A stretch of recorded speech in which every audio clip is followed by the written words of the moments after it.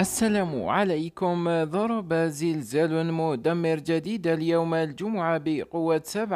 7.7 درجات وقالت السلطات إنه تم إصدار تحذير من موجات مدعاتية تسونامي وذكرت هيئة المسحة الجيولوجية الأمريكية أن الزلزال كان على عمق 10 كيلومترات ووفقا للنظام الأمريكي للتحذير من موجات تسونامي فقد أعقب الزلزال صدور تحذير من احتمال حدوث تسونامي وحذر من احتمال تشكل موجة مد ضمن شعاع قدره ألف كيلومتر حول مركز الزلزال وقال المركز في بيانها بناء على المعطيات الأولية للزلزال من المحتمل حدوث موجة تسونامي خطيرة على السواحل والواقع على بعد ألف كيلومتر من مركز الزلزال والذي وقع في كاليدونيا كما حث المركز سكان المناطق الساحلية المهددة على توخي أقصى درجات الحيطة والحذر